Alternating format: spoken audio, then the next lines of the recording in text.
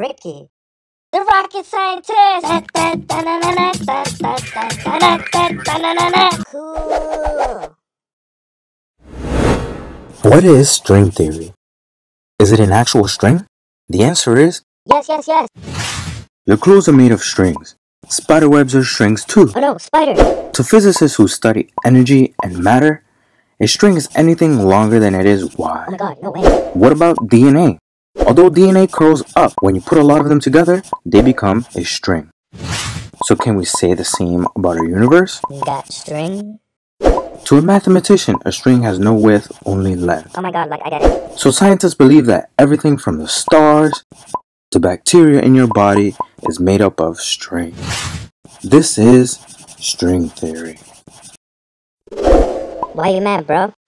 Want to learn more fun facts about science? Subscribe to our YouTube channel.